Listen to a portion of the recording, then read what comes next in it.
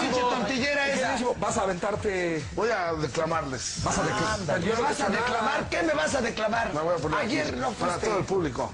Y pongan atención porque está muy cabrón. Yo te ¿eh? estoy Vente, amigo. Me tardé seis meses en aprenderme este poema. Y dice así.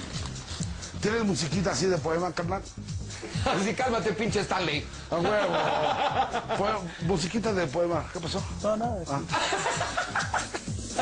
Musiquita ya. Arráncate, puto. Quiero ir. Súbele.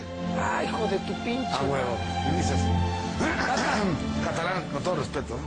Ay, ay, perfecto. A ver. Y dice así. De los placeres sin pecar, el más dulce es cagar. Con un periódico extendido y un cigarrillo encendido, queda el cudo complacido y la mierda en su lugar. Cagar es un placer, de cagar nadie se escapa.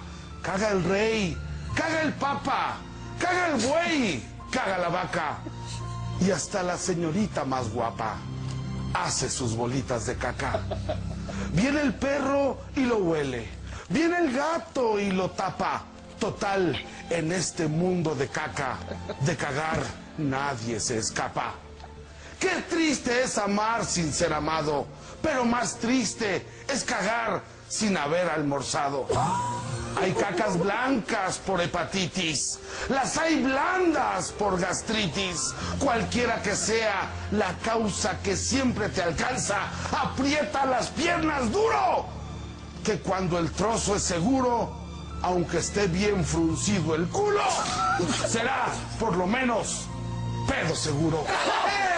No hay placer más exquisito que cagar bien despacito. El baño no es tobogán, ni tampoco subibajas. El baño es para cagar y no para hacerse la paja. Los escritores del baño son poetas de ocasión que buscan entre la mierda su fuente de inspiración. Vosotros que os creéis sagaces, de todo os reíos. Decime si sois capaces de cagar y no hacer pis. En este lugar sagrado donde tanta gente acude, la chica se pasa el dedo y el tipo se la sacude. Caga tranquilo, caga sin pena, pero no se te olvide tirar del...